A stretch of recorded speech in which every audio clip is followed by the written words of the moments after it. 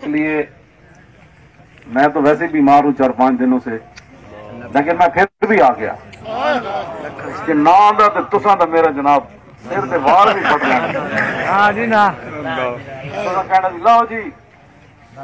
और बस वेख लिया जी हज़रत साहब ही निकला बिल्कुल जी ना ना जी। ना हो? तहरीक लब्बैक पाकिस्तान के सरबराह मौलाना खादिम हुसैन रिजवी इंतकाल कर गए। खादिम हुसैन रिजवी खासे अरसे से अलील थे।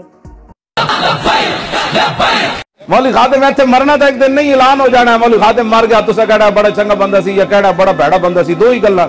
या लोग कहना चंगा सी या भैड़ा दरम्यान तो नहीं हो सकता। भाई, सिर चंगा हो तो टंगा गंदिया हो दो ही गल्ला किसी के बारे, या बंदा चंगा है या भैड़ा है। क्यों जी? हाँ तुम कह जाना, आ यार, ठीक सी, लेकिन बड़ा सख्त सी। क्यों जी? समझ आई?